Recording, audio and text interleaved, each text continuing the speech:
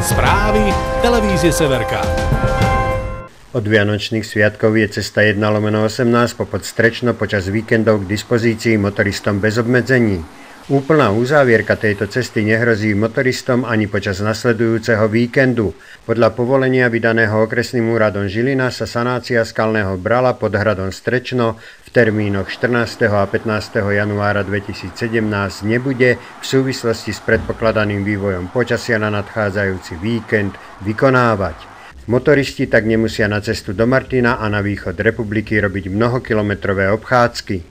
Severka, televízia Severného Slovenska. Denne nové spravodajstvo z miesta obcí, v ktorých žijete, pracujete, kam chodíte na rekreáciu či za priateľmi. Žiadajte u každého dobrého operátora. Televízia Severka. To, čo nás spája. Viac informácií na www.severka.tv.